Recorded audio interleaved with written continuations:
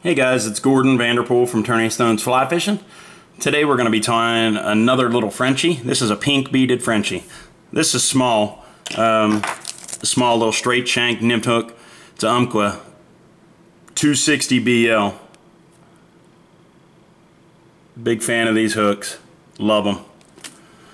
That's what we're going to spin this rascal up on and I do believe that's a 2.0 tungsten pink bead on there. I'm just going to use brown thread. It's uh, 16 aught Veevus brownie. Doesn't really matter.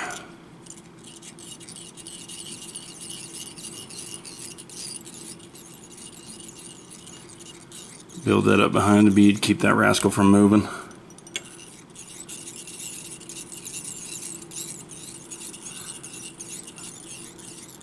For this too, I'm gonna have a tiny little bit of taper too, so this this helps with that.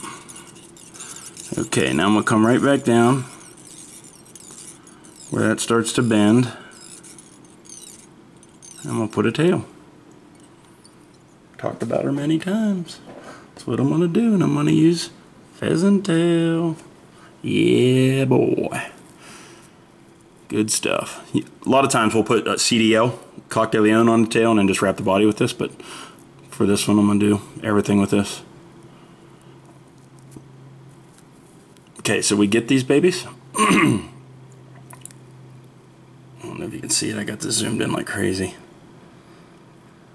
First time tying with this blue background, so it's a little weird to me, so I apologize, but I'll get used to it. Okay, rip them off. Usually I have it facing me. Feels weird. Okay, loose wrap, that'll lock it. One more wrap to hold him. I'm going to get this small copper wire. Actually, that's it right there. Pow. Yummy stuff. A little bit of reinforcement, all that jazz, you know the deal. One wrap there. That's got him in. Lift those like that. Wrap that little honey up the bead and it's over. See ya. Okay. That'd be that. Loon. Water-based head cement. Next product. Alrighty then, here we go. As I've said before in videos about Frenchies, this is just going to be to help protect this stuff. Pheasant tail is not the toughest stuff of all time, we know this. That's why we use stuff like this. And it definitely helps reinforce the critter. Okay, so get this. Wrap these babies towards you.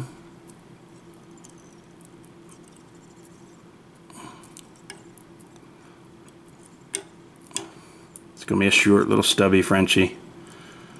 And I love it.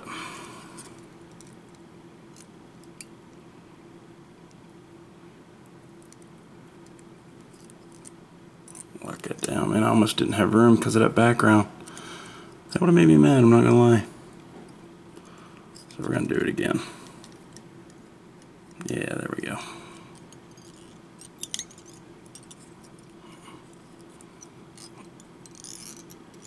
Okay.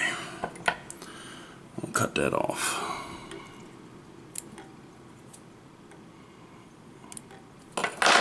Get this, wrap it away a little bit more reinforcement.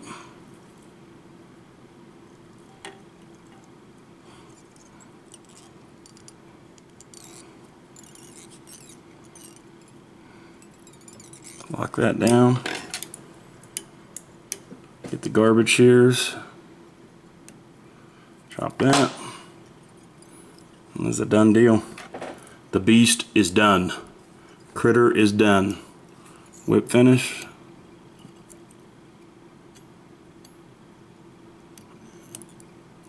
As you know, I do a couple. One, two, three, four. Man, this little thing is a stocker killer. And be times I get back in the back country when the water's a little cloudy. And this thing will tear the fish up. It's a good little bug. definitely nice to have in the old box.